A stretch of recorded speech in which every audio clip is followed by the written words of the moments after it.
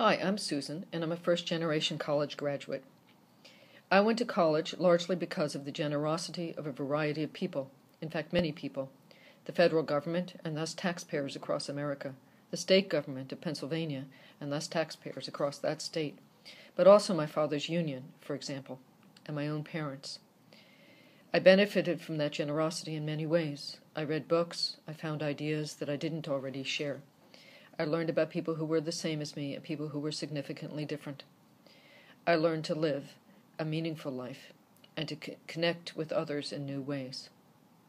Perhaps most importantly, I learned to give back, and today I give back as the president of Shimer College, a liberal arts college in Chicago, where we believe that liberal education should be available for everyone. Our motto is dangerously optimistic since 1853.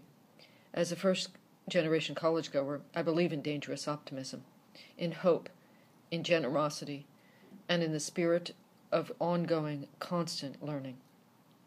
I hope very much that you have the chance to be a college bound first generation person.